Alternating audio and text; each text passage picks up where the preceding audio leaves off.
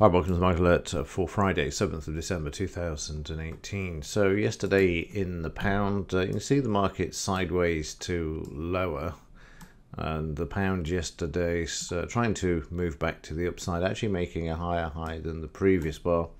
However, the market coming off this and then moving lower on the overnight. And again, the Brexit uh, vote is uh, this coming Tuesday, so the market uh, slightly undecided on which direction to take at the moment.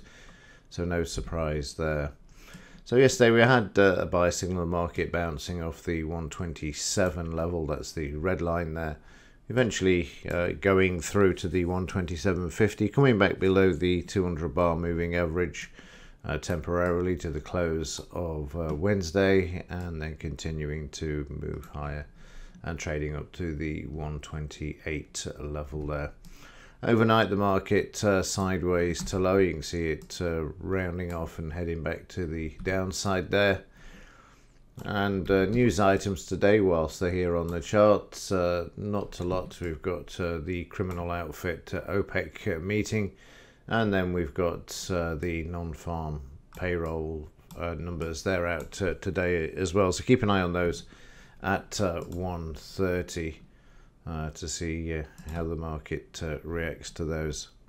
Yesterday in the Dow, we'll talk about the plunge uh, protection team coming to the rescue. This is uh, Thursday's price action. You can see the market there dropping sharply. A lot of volume here, possibly the highest for some time and uh, inside of all of this uh, below the 200 bar moving average the market uh, moves lower by several hundred points. So get you the range here from the high down to the low there, uh, 432 points before the plunge protection team steps in and drives the market back. Hits the 200 bar moving average, goes through, hit with the selling here as the market comes off the highs. Uh, volume higher than the previous bar, selling pressure there. Market comes back and eventually breaks through and they move the market to the upside.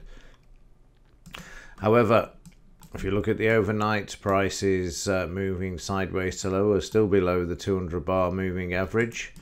And I'm going to remove uh, these for the time being just to make things look a bit uh, clearer. Uh, watch uh, the 76% retracement. The market could go quite easily go back through this and then a retest of these lows. So let's mark up the low here which you can see the market uh, came down to yesterday. And with the help of the plunge protection team bounced off this uh, area. What if there's any potential upside? Well the 200 bar moving average is in the way. It's got to take this out. Um, we'll see what they make of the non-farm payroll figures and how they're going to use this to drive the market to the upside but watch the 200 bar moving average if you get uh, any sort of positive news with regards to this. And uh, meanwhile, in uh, Bitcoin, 76% uh, has been taken out. As I said before, watch for this. And if we break the 76, we break the low. We broke the low uh, on the overnight, and no doubt we're going to continue lower, which means that we have to move to the weekly chart now to see where the downside is going to be in this market.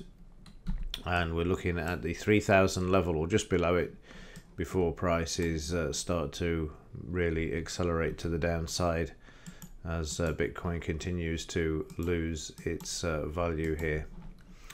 And that's uh, it uh, for this quick roundup uh, of events. Watch for the non-farm payroll figures. the pound I would expect to remain sort of sideways to lower with the prospect of the Brexit vote in the House of Commons this coming Tuesday and uh, Bitcoin still under pressure to move lower to shake out the week longs before this market can turn around and move back to the upside. And with that, uh, have a great weekend. As ever, thanks for watching. See you in the next one.